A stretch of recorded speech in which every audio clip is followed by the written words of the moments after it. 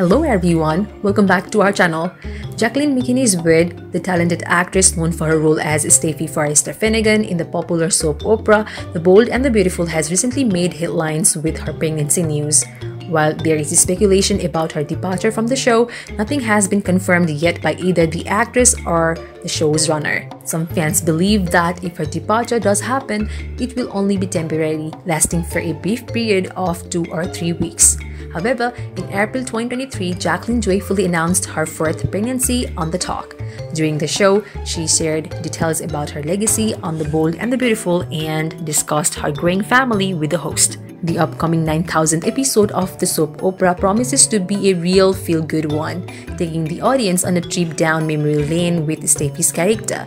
The actress who recently turned 36 mentioned celebrating her birthday with a trip to Las Vegas. She expressed her happiness about the trip, emphasizing that all she wanted was to eat and sleep. However, her pregnancy prevented her from partying too hard. This will be Jacqueline's fourth child as she expands her family after having her third child in the previous year.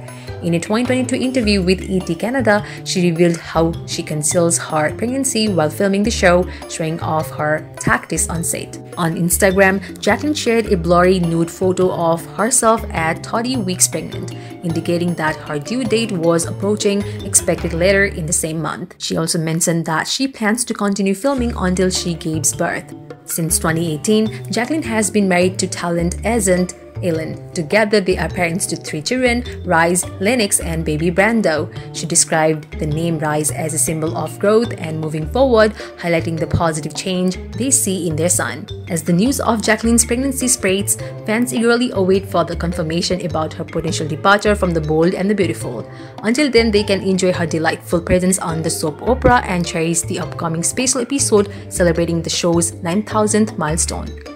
So this much for today's video. We will deliver more news of Bold and the Beautiful as it comes in.